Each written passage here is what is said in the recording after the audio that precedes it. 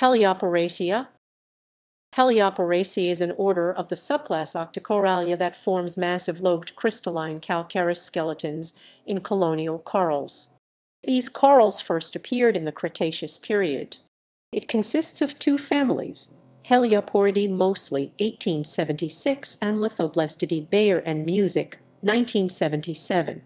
The blue coral Heliopora coerulea the only extant species in the family Helioporidae, is most common in shallow water of the tropical Pacific and Indo-Pacific reefs.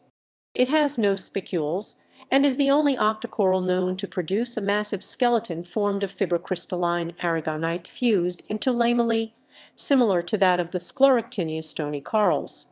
They form large colonies that can exceed a meter in diameter.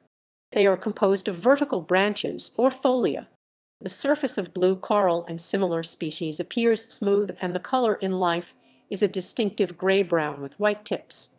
The entire skeleton, however, has an unusual blue color and therefore the species is commonly exploited for decorative uses.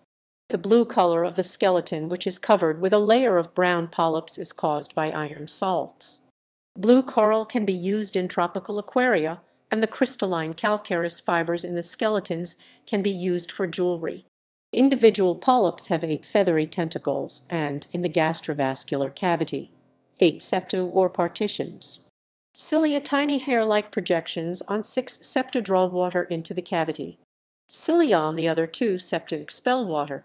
The skeleton consists of spicules that form a protective cup around each polyp. Equals equals references equals equals equals